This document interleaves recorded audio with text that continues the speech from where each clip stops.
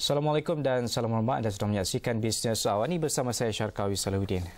Program Usahawan Sedunia Anjuran Ernst Young di Monte Carlo menyaksikan himpunan usahawan terbaik dari 60 negara di serata dunia.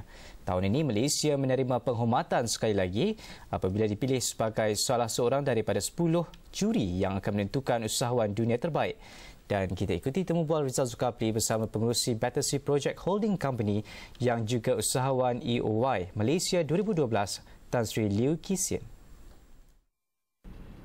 Hai, anda bersama saya Riza Zulkafli dan kita bersama dengan Tan Sri Liu Kisin, pengurusi Battersea Project uh, Holding Company dan juga pemenang EOY 2011 untuk Malaysia serta salah seorang daripada 10 uh, juri di WEOY di Monte Carlo. Dan kita ingin dapat tahu tentang uh, WEOY di Monte Carlo dan apakah harapan beliau dalam uh, WEOY pada tahun ini. Tan Sri, hi, thank you for joining us today. Thank you now, much. I think first of all, we would like to know the um, what can we expect from WEOY 2014?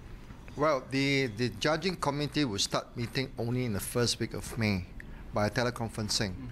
Uh, so I will know by then what are the criteria or specific uh, team that we, we, they will use for this particular year. But like all competitions, uh, especially EY's uh, Entrepreneur of the World Award, every one of the 60 contestants are very, very good in their own way. They represent their each countries. They are the winner of each of their own countries.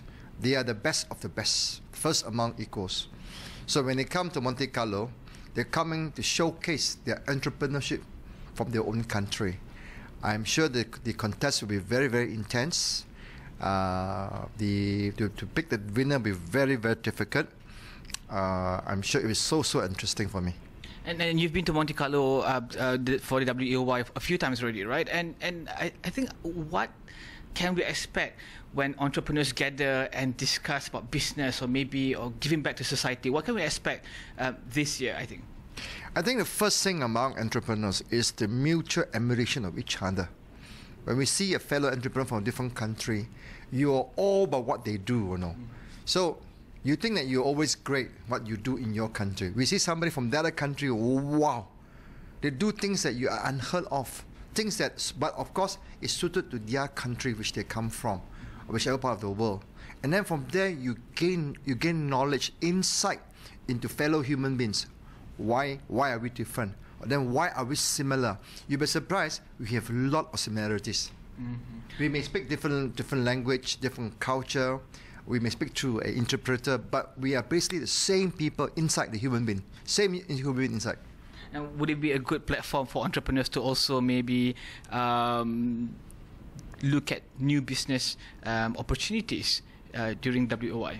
I think it's not so much about looking for business new opportunities. lah. It's there to, to share knowledge, to share knowledge what we do. How, what we are doing, does it impact the society, the community? How we're changing the world? And how can we do better to further our interests? See? Most of those who, who go to EY event are really multi, multi billionaires money to them is no longer a big issue. It's more for us, okay, or this is a way of how you enhance society. This is a way how, how you enhance community. This is a way enhance you enhance, enhance environment. That issue is more important than making money. That gathering is not about making money. That gathering is about caring, caring for the environment, caring for the people, caring for the globe. That's more important to us when we, when we meet.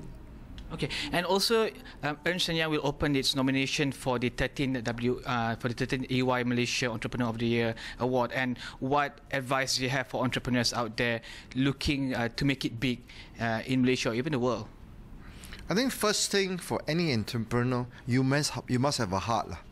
You must have a heart that cares. Because if you just want to come as an entrepreneur to make money for yourself, you will not last forever. You must have a heart, a heart that cares for your service, your product, the environment, the people who work for you. Then only you'll be successful. If you just want to say, "Oh, I want to make money, money, money," you either you'll be successful maybe, but you won't last long. You will not last forever because you don't have that branding, the caring effect. People want that today, you know. Today we talk about social capital, social enterprise. So that is a key to going forward. Money is important, but no longer the only key factor today.